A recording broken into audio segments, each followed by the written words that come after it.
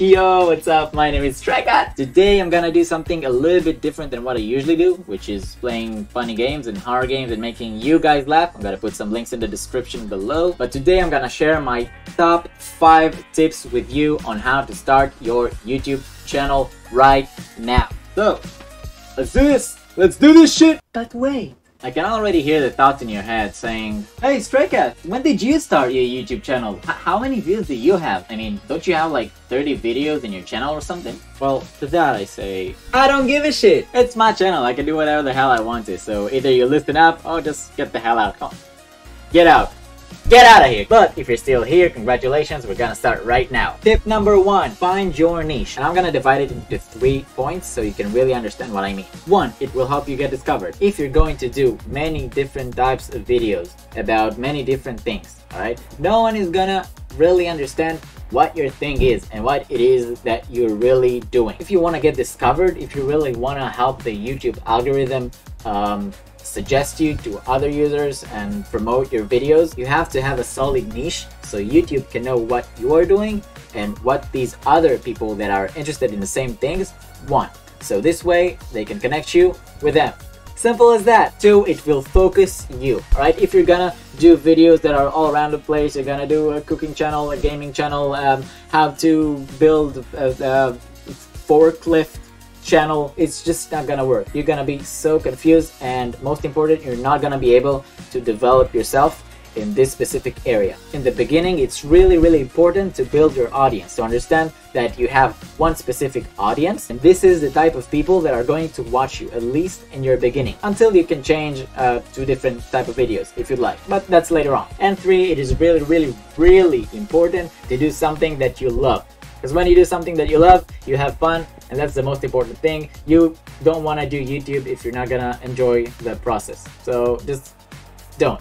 Do something that you love, do something that you're good at maybe, uh, and do something that when you make the video and you watch it before uploading it, it makes you feel like, if I watched that video on YouTube that someone else uploaded it, I would enjoy it. Yeah, alright, so make stuff that you would enjoy watching. It is super, super important. And all around this tip number one, I'm gonna give you one extra tip inside it. Name picking. Make sure that the username that you want to pick is not too specific because let me give you an example. If you decide to start doing one type of videos right now and later on you will decide that you want to change your niche and you want to do something else for a different audience, it will be very hard to switch because people are already used to what you're making right now, your specific audience at that moment, and you're going to have a hard time replacing that audience with a new audience.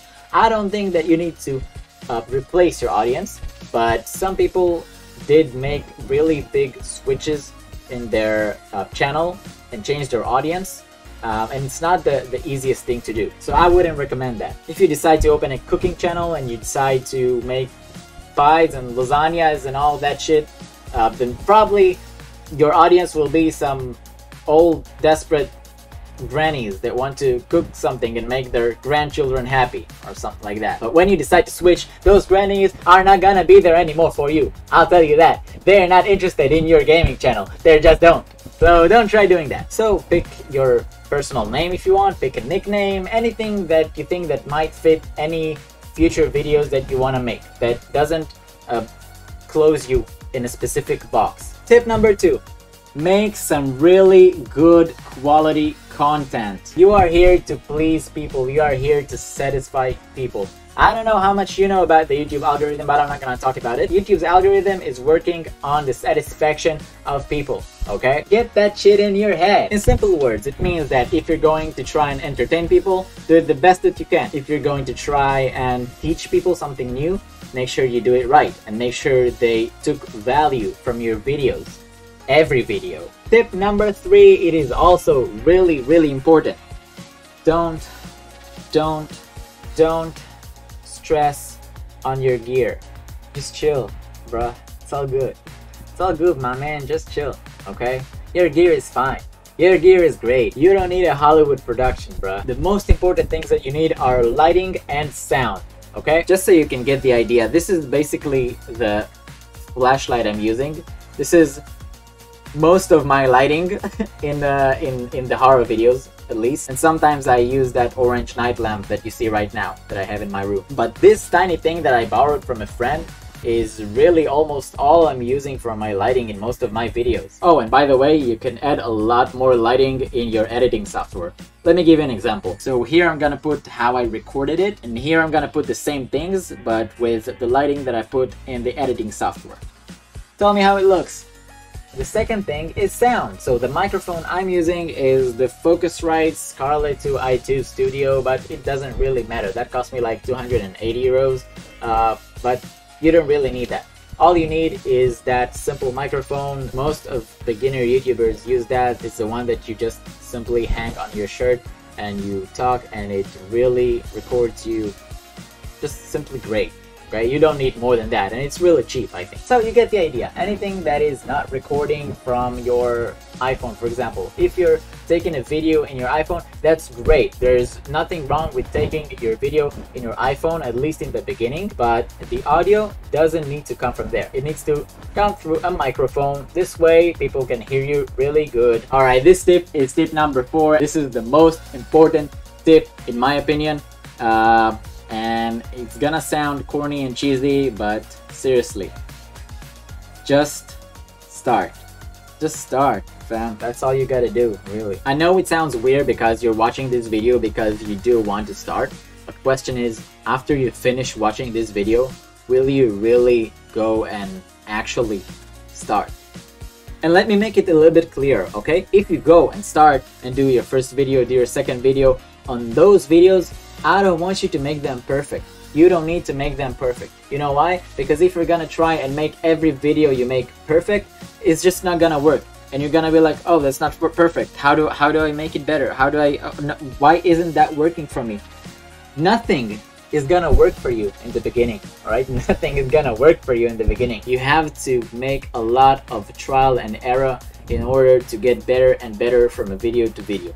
But you have to also get used to talking in front of the camera, which is really freaking weird to be honest. Um, and you gotta have to practice it. And then you can develop yourself and you can improve from a video to video. Um, it's gonna be amazing. so again, don't put too much effort in your first videos. Please, please, please, just press that upload button. I'm telling you, it's all gonna be good. You're gonna be just fine. You have nothing to worry about. Alright? Just do it. Just do it! And after you finish each video, just think to yourself what you can improve for the next video. If it's the lighting, if it's the sound, if it's the way you speak, if it's the way you record yourself, if it's the way you edit, even if it's just a small thing that you can add in your editing that can really win the viewer's attention. And tip number five.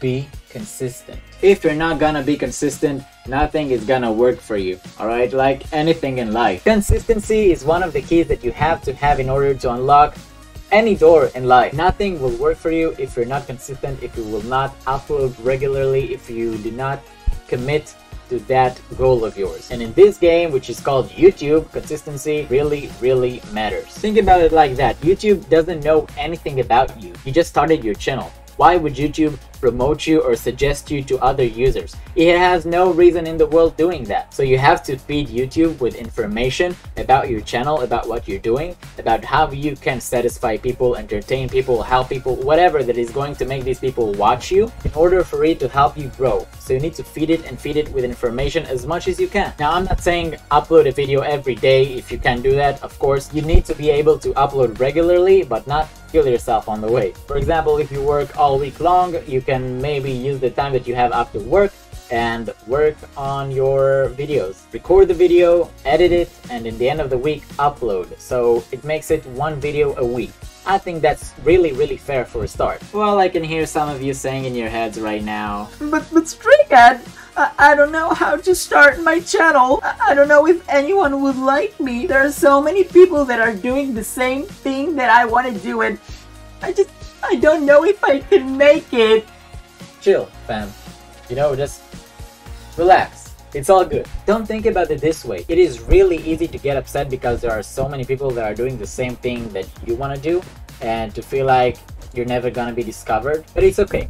If you're stupid and you don't believe in yourself and you don't think that you can make it among all those people that are doing it, then just don't do it. But if you are positive and you really, really want this, you can achieve it. Because I know when people bring something new to the table, it just makes it a lot simpler for them to get famous or to get discovered or to get known. But if you don't have that new thing, it's okay. You are bringing yourself. You're bringing your character, your humor, your pretty face. So you just gotta believe in yourself at this point because people are gonna come specifically for that pretty face right there, champ. And if eventually, I don't know what happened, life just took you to a different direction, you still enjoy the process. Making YouTube is fun. It's creating something. And if you like to create, you're gonna enjoy doing this. So basically you have nothing to lose. Alright, now go ahead and click those like and subscribe buttons. It really, really helps me. I really hope I managed to help you guys and I hope that if you really want to do it, you're gonna go ahead and start right now.